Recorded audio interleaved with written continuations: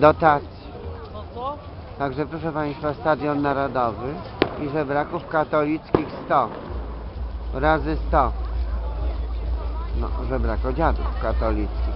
I to, proszę Państwa, dość młode to jest, no bo mówiliśmy dzisiaj, że tu nie Ameryka, to więc nie ma dziadka, nie ma babci.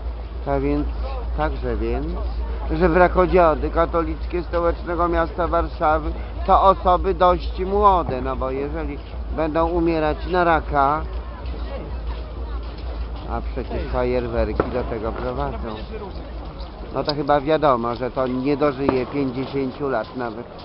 48 lat dziady dożyją i co? A ile ludzi kona, proszę Państwa. Na raka umiera, ile tego dziadostwa tu lezie, Państwo zobaczą. Dziady katolickie!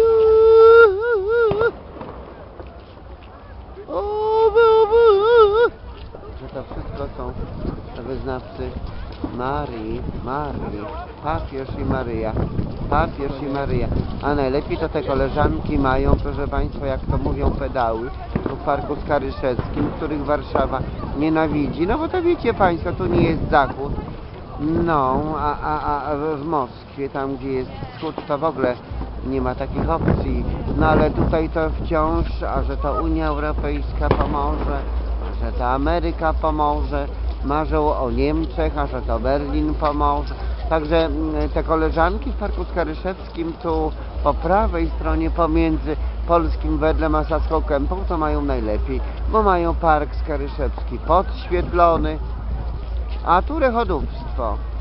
Do nich tam nie zagląda. Rechodówstwo co? Dziadów 100? No. Żebraków 300.